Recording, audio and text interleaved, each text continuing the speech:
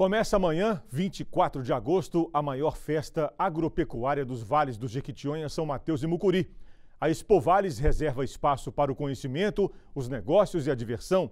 Os organizadores correm contra o tempo para ajustar os últimos detalhes para os quatro dias de evento.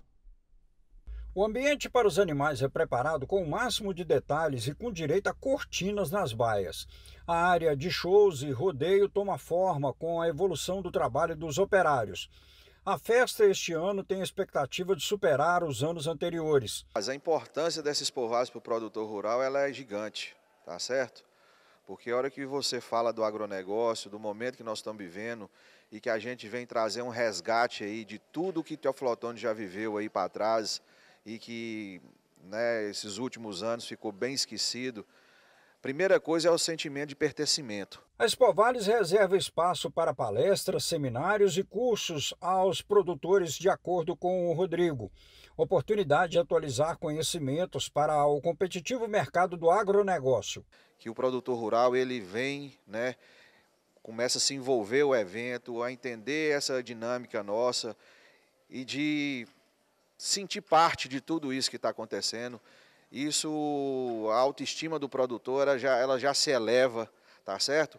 A 47ª edição da Exposição Agropecuária dos Vales, Expo Vales 2023, tem uma expectativa de público de até 5 mil pessoas por dia.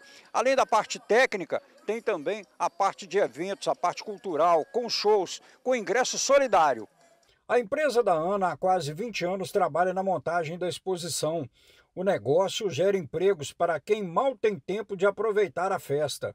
É isso aí mesmo que acontece, viu? A gente tem que chegar sempre antes, monta a estrutura e acaba que, você já falou, no dia do evento mesmo a gente nem consegue curtir a festa. O palco recebe as celebridades do sertanejo e um ilustre teoflotonense vai embalar os fãs com um show de arrepiar. O ingresso esse ano é um litro de leite longa-vida e alimentos não perecíveis uma forma de contribuir com os atingidos pelo temporal seguido de chuva de granizo. Pois é, convidar todos aí que possam a visitação, porque a Expo Vales não é só shows, né? Tem todo aí é, a parte de animais, parque de diversão, rodeio, né? Então o evento é um evento completo de 10 da manhã até raiar o dia.